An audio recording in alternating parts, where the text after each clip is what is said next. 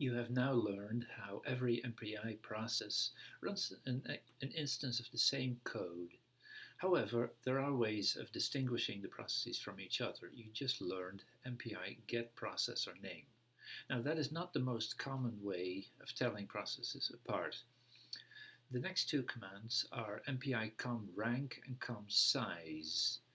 Uh, MPI comm size tells you how many processes there are in your run and MPI-comm rank tells, uh, gives on every process its unique number.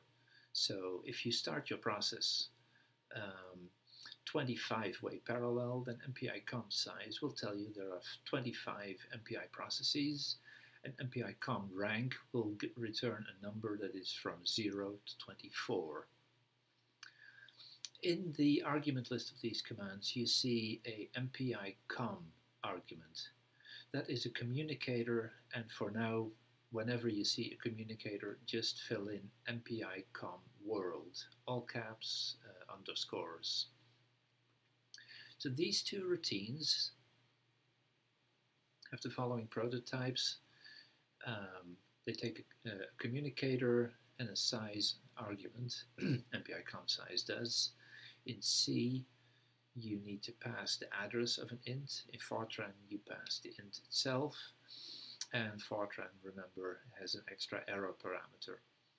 In Python, if you have a MPI comm object, then uh, it's a method of the object, so it's get size with empty parentheses after it.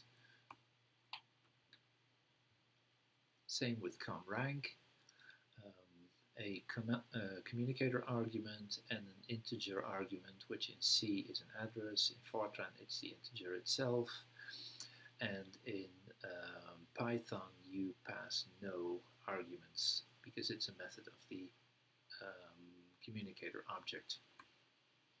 Okay, with this you can do exercise number four. Write a program where each process prints out a message that reports reports its number and how many processes there are in total. So your program should say something like, hello, I am process 2 out of 17. Also write a second version of this program where each process opens a unique file and writes something to it, for instance, its process number. Now this is a useful exercise, but you have to be aware that if you run this at large scale, your system administrator may complain about you generating too many files, so use this sparingly, but it's a useful uh, skill to have.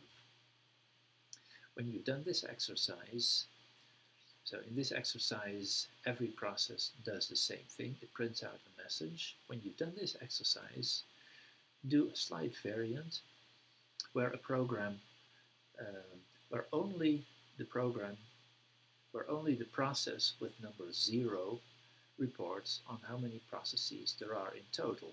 So process 0 needs to print, hello, I am process 0 and there are 79 processes total. So how do you get one process to print out something and the others not to print out something? Okay, that's your exercise.